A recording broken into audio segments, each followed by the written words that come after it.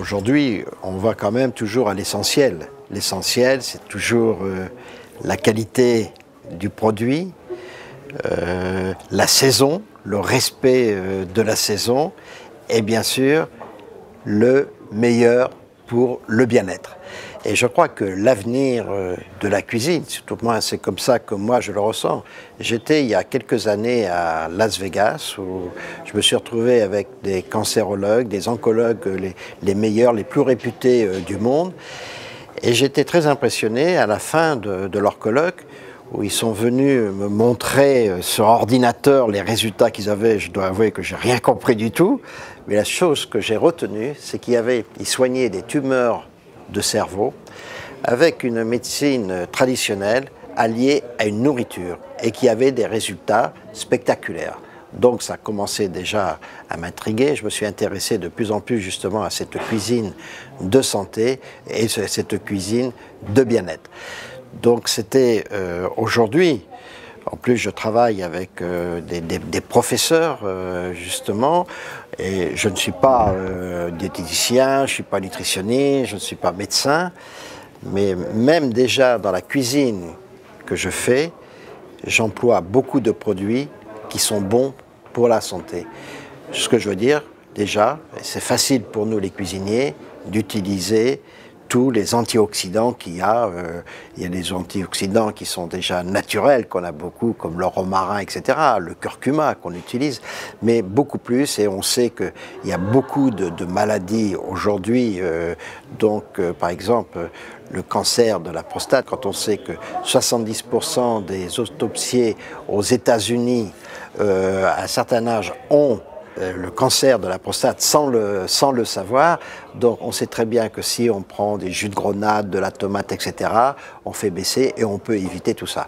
Donc je pense que les cuisiniers devront apprendre demain de plus en plus euh, ce que c'est que justement le bien-être, comment on peut apporter, améliorer la santé de chacun.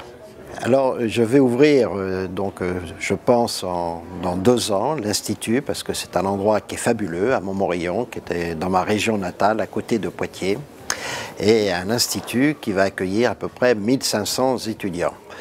Euh, bien sûr, dans cet institut, ça va être plus une école d'application qu'une école théorique. C'est qu'il va, il y aura aussi bien, euh, je sais pas, euh, il y aura des restaurants qui vont être ouverts au public, il y aura une partie hôtel qui va être ouverte au public, il y aura euh, des, boutiques, une boulangerie, une pâtisserie ouverte au public, il y aura une cave, il y aura pour les sommeliers, etc.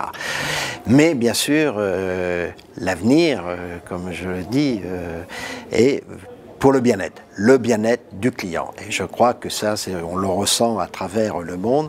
Et c'est vrai que j'ai déjà fait appel à certaines personnes qui commencent à étudier justement ces programmes pour pouvoir enseigner à ces jeunes tout ce qu'on peut apporter, nous, comme cuisiniers, pour le bien-être de chacun. Alors, ça va être dirigé, bien sûr, avec des, professeurs. Il y aura des, cancérologues qui vont venir, il y a des nutritionnistes qui vont venir. C'est pas pour soigner. C'est, on sait très bien qu'en mangeant certains produits, eh ben, on est heureux.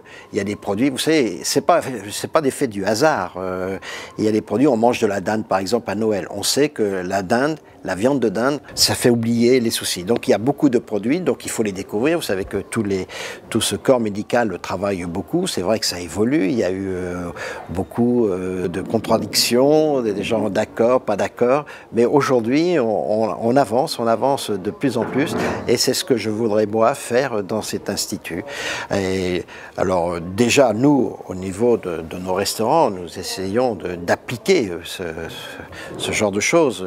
Il y a des bouillons, par exemple, des bouillons, on fait des bouillons, par exemple, l'hiver, quand on sait que les clients sont un petit peu enrhumés, sont malades, sont pas bien, on fait du bouillon avec des bouillons de volaille, avec du, du céleri, avec du gingembre, avec de l'ail, avec du curcuma, avec des produits qui ont été bien euh, réfléchis, que j'ai, c'est pas moi qui les ai trouvés, les produits. On m'a dit, il faut utiliser ce produit, ce produit, et nous, on essaye de les adapter.